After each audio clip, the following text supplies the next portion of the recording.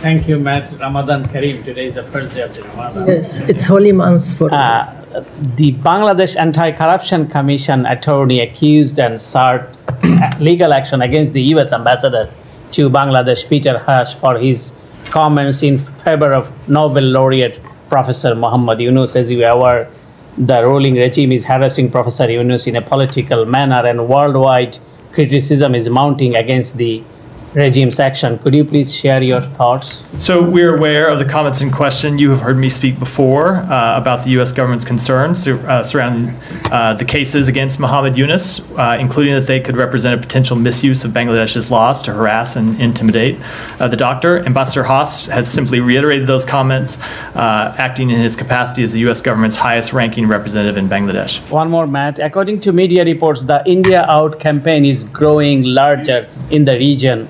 Following the one sided sham elections in Bangladesh, people are promoting a boycott of goods made in neighboring India, suspecting Indian authorities of cowardly working to, to keep Sheikh Hasina in power. How do you view this situation? So we are aware uh, of the reports of this campaign. I'm obviously not going to comment on any individual consumer's decisions, whether it's in Bangladesh or anywhere around the world. But we value our relationship with both Bangladesh and India. We will continue to work with both countries' governments to pursue our shared interests, including to ensure a free, open, secure, and prosperous Indo-Pacific region. Thank you. Gita, go ahead.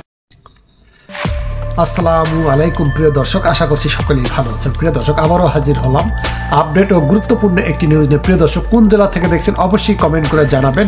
আর এই চ্যানেলে যদি আপনি নতুন হয়ে থাকেন, অবশ্যই চ্যানেলটি subscribe করে পাশে থাকা বেল বাটনটি অল করে দেবেন। কারণ পরবর্তী নতুন কোনো নিউজ আপলোড করলে নোটিফিকেশন যাতে দ্রুত আপনাদের কাছে পৌঁছে যায়। প্রিয় দর্শক, এছাড়াও অবশ্যই একটি লাইক দিয়ে পুরো ভিডিওটি কন্টিনিউ করুন।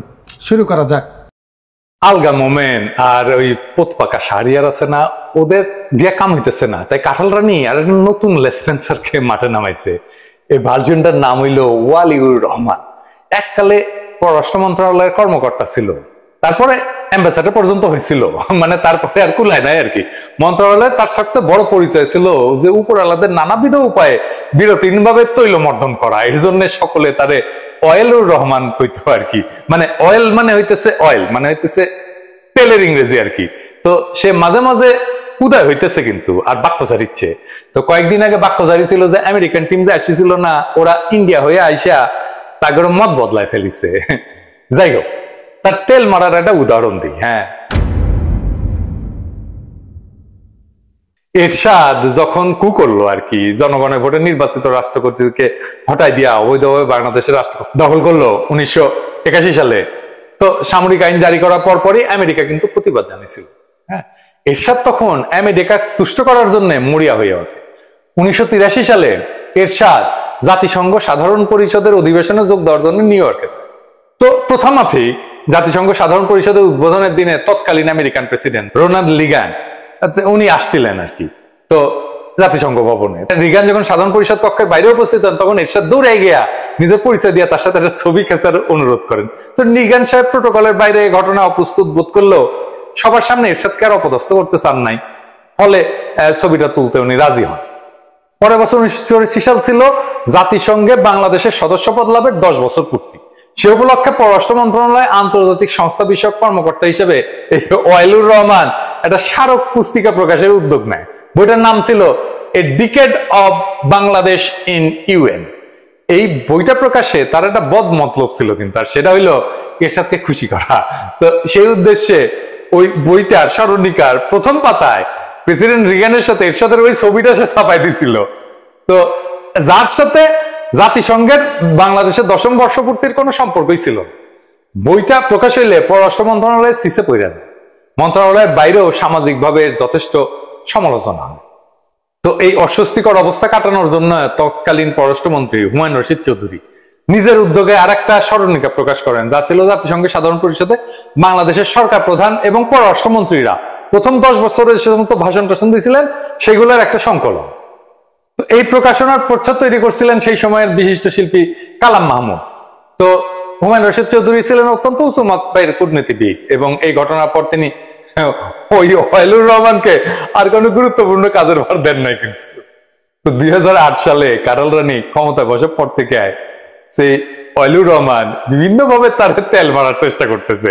তো তেল তো এতদিন দিয়ে আসছে, এমনকি মাল ইন্ডিয়ান হাই কমিশনে গিয়া বসে থাকছে, তাদের শুভ দৃষ্টি লাভের আশায়, যাতে তারা কাটাল রানীকে তার সম্মুখে দুইটা ভালো কথা বলে।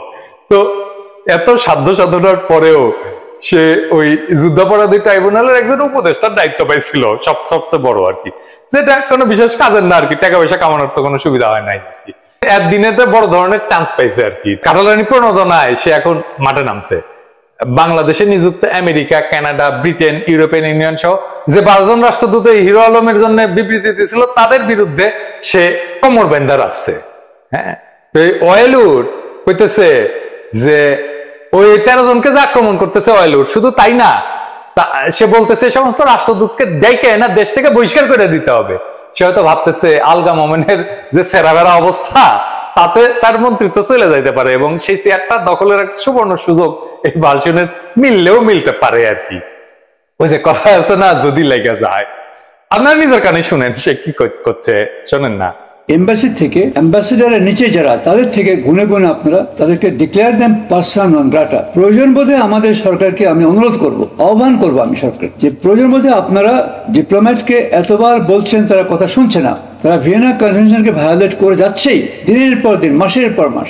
আপনারা সেই এম্বাসি থেকে, অ্যাম্বাসিডারের নিচে যারা আছেন, তাদের থেকে গুনে গুনে আপনারা তাদেরকে ডিক্লেয়ার দেন পার্সন নন গ্রাটা যেটা আমরা একবার করেছিলাম। তখন, আমি তখন মিনিস্ট্রিতে ছিলাম, বহুদিন আগে। তখন মিলিটারি গভর্নমেন্ট জেনারেল এরশাদ তখন প্রায় আঠাশ জন ডিপ্লোম্যাটকে আমি, আমাকে দায়িত্ব দেওয়া হলো। প্রেসিডেন্ট এরশাদ চেয়েছেন, বিভিন্ন কাজে তার ডিজিএফআই খবর দিয়েছে আমাদের ডিজিএফআই আছে, আমাদের দেশ বিরোধী কাজে তার তৎপরতা তৎপর ছিলেন। সোভিয়েত ইউনিয়ন, তখন সোভিয়েত ইউনিয়ন। তারপরে আরও কয়েকটি রাষ্ট্র। আমি হিসাব করে দেখলাম, মোট আঠাশ জন ডিপ্লোম্যাটকে আমি সাত দিনের নোটিসে বাংলাদেশ ত্যাগ করতে বলেছি। আপনি চারটা দেশের করেন পার্সন নন আর বন্ধ, সব বন্ধ হয়ে যাবে। আমি সেই যে আঠাশটাকে বের করলাম, এরপরে আমাদের মিলিটারি রুল কিন্তু মিলিটারি রুল রুল একটা ছিল তো। Good bad indifferent. আমি পছন্দ করতাম না। কিন্তু আমি তো সরকারি চাকরি করতাম। আমাকে বলা হলো। আমার ফরেন সেক্রেটারি ছিলেন ফারুক চৌধুরী সাহেব। আমি তিনি ফরেন মিনিস্টার সাহেব ছিলেন হুমায়ুন রশিদ চৌধুরী সাহেব। আলাপ করে আমরা এটা আমাকে দিয়ে কর আমি আই ওয়াজ নাম্বার থ্রি সময় এসেছে। টাইম হ্যাজ কাম যখন আমাদের অ্যাকশন নিতে হবে। ডেকে বললে হবে না, পত্রিকায় বিবৃতি দিয়ে হবে না। আমাদের পররাষ্ট্রমন্ত্রী এবং যারা আছেন পদস্থ ফরেন সেক্রেটারি এবং স্টেট মিনিস্টার তারা তিনজনই খুব চেষ্টা করছেন তাদের মতো জায়গার থেকে। মানে আমি তো দেখতে পাচ্ছি বেচারা তিনজন ব্যক্তি আছেন ওখানে, তিনজনই সময় পেলেই কথা বলছেন। কোনো এক, কোনো রকমের নতিজা হয়েছে? কিছু কাজ হয়েছে? না। দে ডোন্ট কেয়ার আমি বলব আপনাদের মাধ্যমে যে time has now come there has to be some action how in terms of declaring two or one of three of them as person non grata দেখেন সব বন্ধ হয়ে যাবে, আর করবে না তারা। কি করবে তারা? হইচই করবে একটু। শুনুন, এখন আমাদের dependence on the foreign aid is only five percent foreign aid country foreign aid five percent সেই বাংলাদেশ তো নাই আমাদের। আজকের বাংলাদেশে আগেকার বাংলাদেশ তো নাই। Thanks to prime minister Sheikh Hasina যে তিনি দেশকে কোথায় নিয়ে এসছেন। কাজে কেন আমরা এত ইতস্তত কেন করছি? প্রত্যেকবার আমরা বক্তৃতা দিচ্ছি, আমরা বলছি, তারা শুনছেন। বলেই যাচ্ছে। এই শুনলাম যে কালকে তেরো জন অ্যাম্বাসেডার বক্তৃতা দিয়েছে। একশো অ্যাবসার্ড আনহার্ড অফ আমি তো কত জায়গায় অ্যাম্বাসেডার ছিলাম? কোথায়? এটা শোনা যায় না কখনো। এই ভালসুনটা যে কি ভয়ঙ্কর দেশ বিরোধী কথা কইছে, সেটা তো আপনারা শুনলেন। তো আমি এই প্রসঙ্গে কেবল তিনটা কথা বলব। তো প্রথম কথা হইল যে ওয়াইলুর রহমান, এই ভিয়েনা কনভেনশনের উদাহরণ টানছে। এটা ঠিক যে কনভেনশনের একচল্লিশ নম্বর অনুচ্ছেদে উল্লেখ করা হয়েছে যে কূটনৈতিক প্রতিনিধিরা যে যে দেশে কাজ করবেন, সেই দেশের আভ্যন্তরীণ ব্যাপারে হস্তক্ষেপ করবেন না। এটা সত্য কথা। এই তো কয়েকদিন আগে বাংলাদেশ সফরে এসে American under secretary of state Uzra Zeya কালারানির সাথে সাক্ষাৎ করছিলেন না। তো সেই বৈঠকে কালারানি স্বয়ং আগামী নির্বাচন অবাধ এবং সুষ্ঠু হওয়ার ব্যাপারে অঙ্গীকার করছিলেন না। তো কাটাল রানী যদি নিজেই দেশের নির্বাচন নিয়ে বিদেশিদের সাথে এইভাবে খোলাখুলি আলোচনা করে, তাহলে বিষয়টি কি আর আভ্যন্তরীণ ব্যাপার থাকে বেকুবের বাচ্চা? এই অয়েলুরের মাথায় এটা ঢুকলো না যে কেবলমাত্র এই কারণে রাষ্ট্রদূতদের বক্তব্য ভিয়েনা কনভেনশনের পরিপন্থী দাবি করার কোনো ভিত্তি থাকে না। এতে সেদিন এই যে সকল রাষ্ট্রদূতদের পোত পাকা সারিয়ার পররাষ্ট্র মন্ত্রণালয় রাখছিল না, তো ব্রিটিশ হাই কমিশনার যখন জিজ্ঞেস করছিল তাদের তলব করা হয়েছে কিনা, তখন পোত পাকা মিন মিন কইরা কইল, আপনারা ভুল বুঝছেন না। আমরা আপনাদেরকে আমন্ত্রণ জানাইছি, নেমন্তন্ন করছি। মানে তলব করছি, এটা বলার সাহসটাই নাই। এই অবৈধ জনবিচ্ছিন্ন ফ্যাসিস সরকারের। আর সে আসছে, এদের বহিষ্কার করে দেওয়ার আবদান নিয়ে। তাহলে বলেন, কোন সাহসে এই রাষ্ট্রদূতদের, তাদের কূটনৈতিক কর্মকর্তাদের বহিষ্কার করবে অপদার্থ তেলবাজ অয়েলুর রহমান? ওর ঘাড়ে কয়টা মাথা আছে? আর যদি ধরে নিলাম যে আমাদের নির্বাচন নিয়ে বিদেশিদের কথা বলা ঠিক না, তাইলে দুই হাজার চোদ্দ সালে সুজাতা সিং যখন দিল্লি থেকে উড়ে আসছিল, এরশাদকে নির্বাচনে আনার জন্য চাপাচাপি করার জন্য, আর সমস্ত বিরোধী দলকে নির্বাচনে আনার জন্য চাপাচাপি করার জন্য, কারণ তখন তারা নির্বাচনে না আসলে নাকি বিএনপি জামাত ক্ষমতায় চলে আসবে। তখন ভিয়েনা কনভেনশন করেছিল তো, চীনা রাষ্ট্রদূতদের বাংলাদেশের নির্বাচন নিয়ে কথা বলল, বা রাশিয়া পররাষ্ট্র মন্ত্রণালয় টুইট মারলো, সেটা নিয়ে আভ্যন্তরীণ বিষয় নিয়ে নাক গলানো হয় না, ভিয়েনা কনভেনশন থাকে না হ্যাঁ? তখন ভিয়েনা কনভেনশন আসে না বলছুন দ্বিতীয় কথা হইল, কয়েলুর খুব গর্ব করে কইলো যে আশির দশকে সে বেশ কিছু সোভিয়েত কূটনীতিককে দেশ থেকে বহিষ্কার করার কাজে সরাসরি ভূমিকা পালন করছে। এটা ঠিক যে উনিশশো সালের নভেম্বর মাসে এরশাদ সরকার বাংলাদেশ থেকে আঠারো জন সোভিয়েত কূটনীতিককে দেশ থেকে নির্দেশ দিছিল এবং ঢাকায় সোভিয়েত সাংস্কৃতিক কেন্দ্র তালা ঝুলিয়ে দিছিল। তো কামটা ভালো করছিল আর কি। তো যাই হোক, কোন পরিপ্রেক্ষিতে স্বৈরাচারী এরশাদ এই পদক্ষেপ নিছিল? এই নির্দেশের দুই দিন আগে ঢাকা শহরে এরশাদ বিরুদ্ধে ব্যাপক বিক্ষোভ হয়। জনতা পুলিশের সংঘর্ষে চার ব্যক্তি নিহত হয় এবং আইন শৃঙ্খলা বাহিনীর দুইশো জন সদস্য আহত হয় যে দেখেন।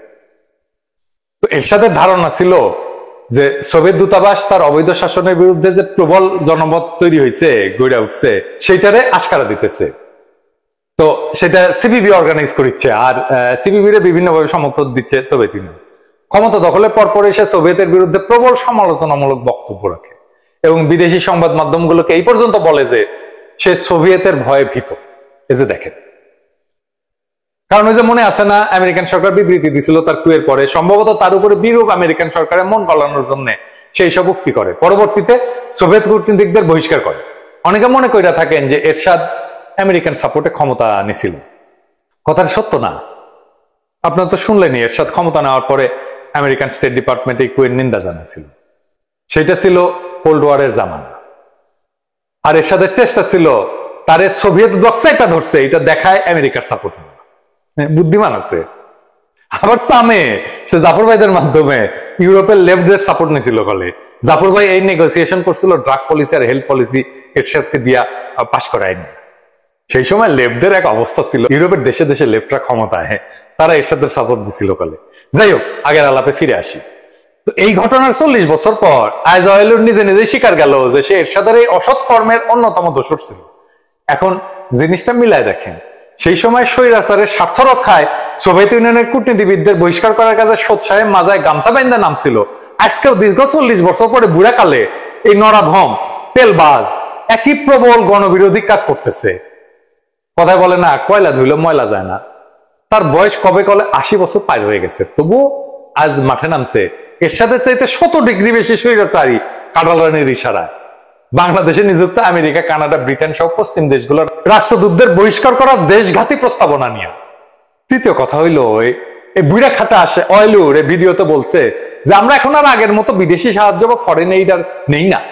সুতরাং পশ্চিমা দেশগুলোর কথা কেন আমরা শুনব? এই ভালসুনের খবরই নাই যে রিজার্ভের বারোটা বাজাইয়া কাটাল রানী ভিক্ষার পাত্র হাতে নিয়া আইএমএফ এর সামনে ফেফে করে ঘুরতেছে।